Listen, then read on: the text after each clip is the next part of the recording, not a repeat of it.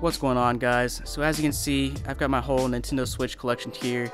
I uh, got some games, console, some accessories and controllers, and even another console behind me, a special edition one that I'll show you later. So in this video, I'm going to be seeing how much I can trade in my entire Nintendo Switch collection to GameStop for. Um, so I've done this video with a couple other my collections, my uh, PS4 collection and my Xbox 360 collection, you know, just seeing how much GameStop would give me if I traded it all in. And so now I'm doing that for my Nintendo Switch. So basically what I'll do is go through each game, controller, accessory, console, and basically type it in my computer over here, um, where I got my the GameStop trading website pulled up, and then we're gonna add it up and you know see how much my whole collection's worth. Uh, so let's go ahead and get started. So let's first start with hmm, I'm gonna start with games. Um, so let's go ahead and first get Legend of Zelda. So I think this was actually the very first, or one of the very first Nintendo Switch games to come out. Um, I know, I think I got this on release day. Um, so Legend of Zelda, Breath of the Wild. Let's put that in. Hopefully, if we put in Legend of Zelda, it'll just be like the first one that pops up since it's the newest. Yeah, there it is. Um, so I'm gonna also guess. I'm gonna guess the values while I'm doing this. So I'm gonna say twenty-five dollars. Um, you know, Nintendo Nintendo games usually hold their value pretty well. Oh wow, thirty-three dollars. So I'm gonna go with the, the pro value, the the max value.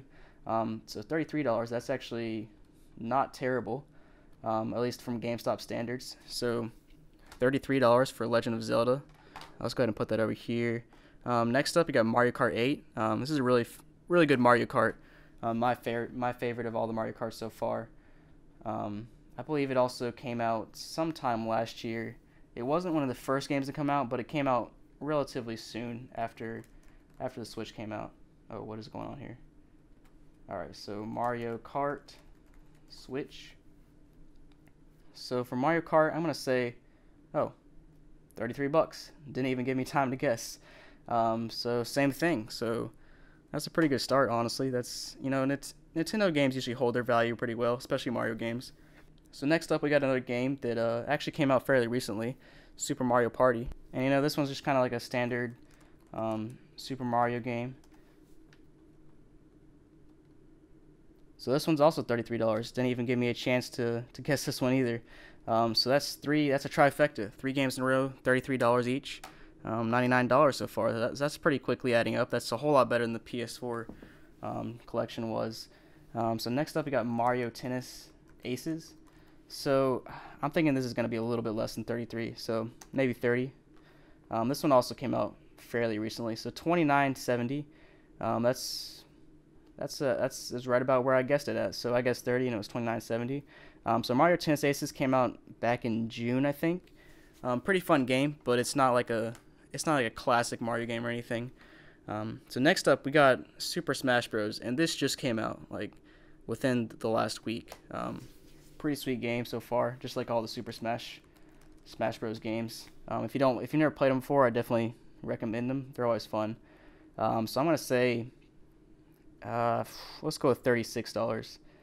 Um, usually, oh, so thirty-three dollars. So yeah, I, I guess that's not too surprising. Usually, usually games from GameStop, they you know they immediately take a hit. So if you bought the game, if we bought Super Smash Bros for sixty bucks and then we went and traded it back in like five seconds later, it's almost half the value, which is basically what we're seeing here, and that's just that's just how GameStop does it. Um, it's kind of lame, honestly. I mean, they're gonna go back and resell it for fifty-five dollars, so I think they should at least give you like forty bucks. But you know, it is what it is. Um, it's better than a lot of PlayStation games I've seen on GameStop before. So next up is Nintendo Labo. Um, so Toy-Con. I actually have the whole box back here. It didn't really fit in the the shot, um, but here's a whole box of uh, Nintendo Labo. So I have this, but I haven't actually played it much yet. Um, so I haven't gotten a feel for it, but uh, yeah. Nintendo Labo Toy-Con. Let's see how much that's worth. Um, I honestly have no idea. Five dollars. Okay, that's not even the right thing. Nintendogs. How did it come up with that? All right, let's see. Maybe if I should search Labo. Oh, I bet it got Nintendogs because it's, it's my church. Type in lab like a like a labradoodle. Um, still not seeing it. So maybe Labo. I don't know why I keep scrolling down. Um, Nintendo Switch Labo. I don't know why it's not finding it. This is weird. Well, maybe GameStop is lame and doesn't even take it. Um, I don't know. Maybe we'll try it again later with a different search, but yeah, I'm not finding it for now. So The Incredibles. Now this is a game. Um, this is actually Incredibles Lego. Uh, pretty fun game. I bought this back when The Incredibles um, came out, or The Incredibles 2 came out fairly like six months ago or so. Um, I'm gonna say this is probably about 15 bucks. I'll say 16.50, right on. Um, so obviously this is not a Mario game, so it doesn't hold its value as much. So last Nintendo Switch game I got is Super Mario Odyssey. Now this might be my favorite out of all the games. It's if you haven't played it before, it's very similar to like Super Mario 64 for the Nintendo 64, just you know modern day version, um, super 3D with new worlds and everything. And it's even got a couple nostalgic hints at Super Mario 64 for the Nintendo 64, which is kind of cool. All right, so Super Mario Odyssey.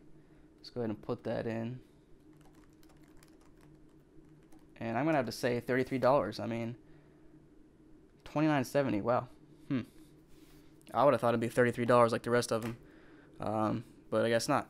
So now we got some Joy Cons. Let's just see how much a standard Joy Con goes for. So we got to go over to accessories and Joy Con.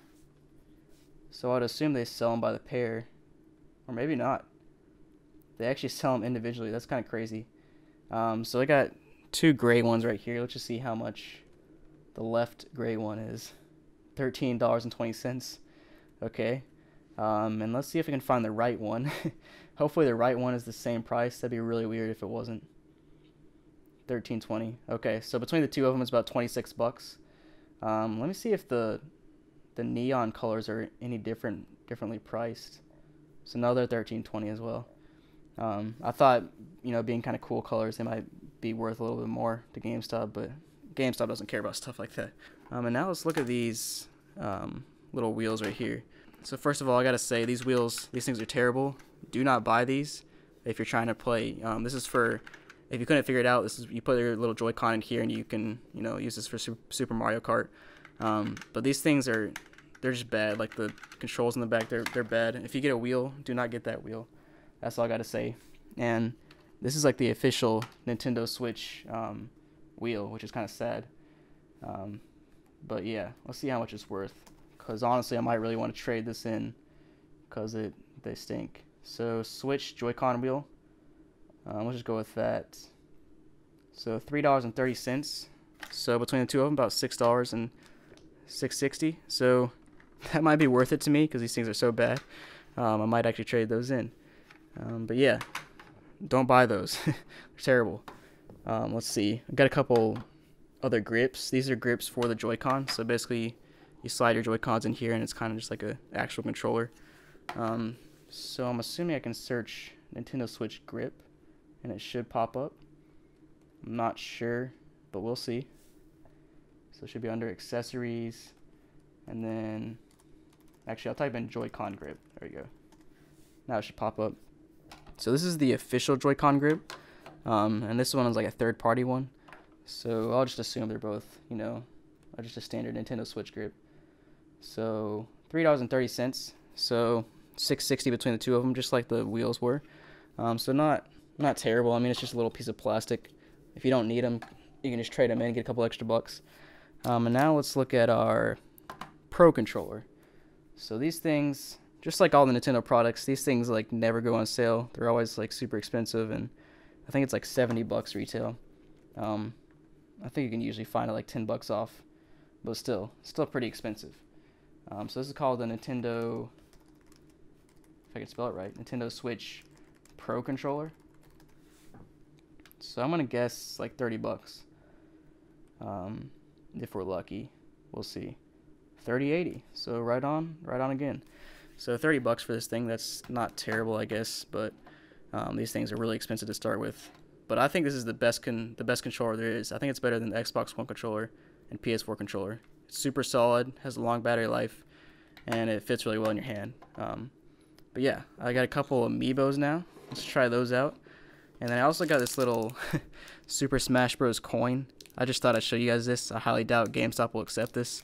Um, but this was like a pre-order gift for buying it from Best Buy. It's, it's pretty sweet. Um, just like a little little collectible coin. I actually think I got a collectible coin like this for Super Mario, Super Mario Odyssey as well when I bought that. Um, but yeah, it's kind of a little cool collector's edition kind of thing. Um, but let's search the amiibos. I think they might have those on here. I'm not 100% sure. Um, but we'll see. Um, these are like the special Mario wedding edition. So you got Bowser, Mario, and Peach. Um, I bought these when when I bought Super, Super Mario Odyssey because it was like a, a special kind of thing.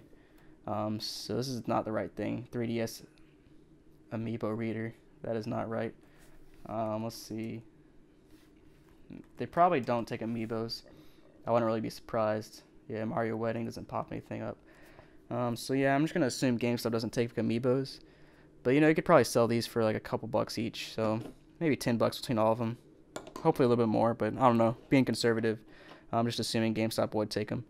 Um, so next up, I think we got one more accessory, and then we got some consoles to look at. So I got a case now.